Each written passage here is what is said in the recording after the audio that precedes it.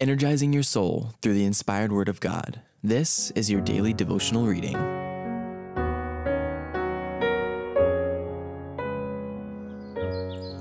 Maranatha, the Lord is coming. A devotional by Ellen White. August 1st. In these hours of probation.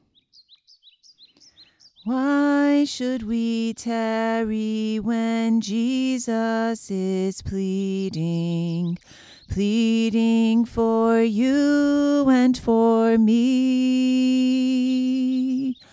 Why should we linger and heed not his mercies, mercies for you and for me?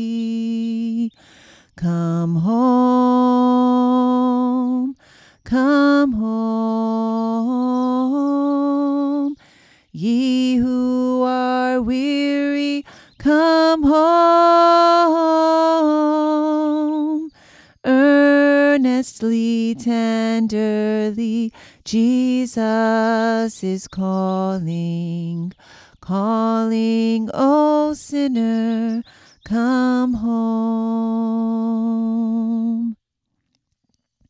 In these hours of probation, I have heard thee in a time accepted, and in the day of salvation have I succored thee. Behold, now is the accepted time. Behold, now is the day of salvation.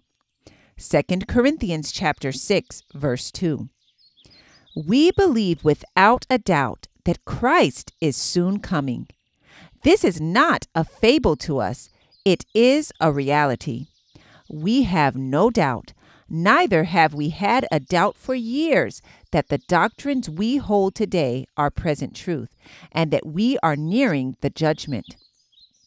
We are preparing to meet Him who, escorted by a retinue of holy angels, is to appear in the clouds of heaven to give the faithful and the just the finishing touch of immortality.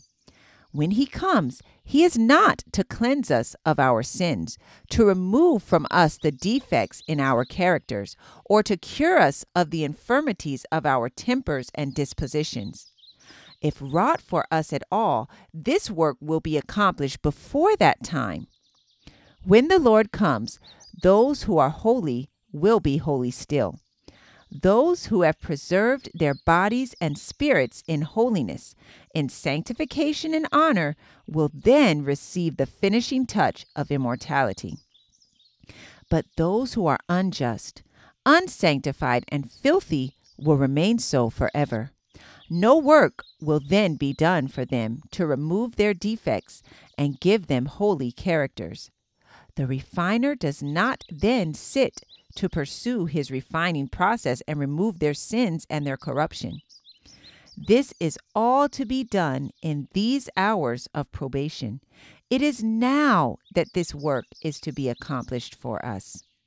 We embrace the truth of God with our different faculties, and as we come under the influence of that truth, it will accomplish the work for us which is necessary to give us a moral fitness for the kingdom of glory and for the society of the heavenly angels.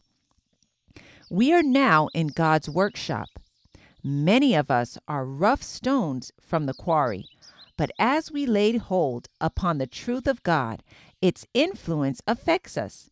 It elevates us and removes from us every imperfection and sin of whatever nature.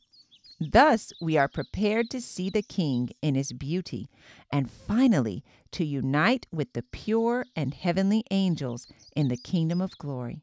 It is here that this work is to be accomplished for us, here that our bodies and spirits are to be fitted for immortality. Maranatha, the Lord is coming. I encourage you to be ye doers of the word and not hearers only. Thank you for listening, and be sure to join us tomorrow for your daily devotional reading.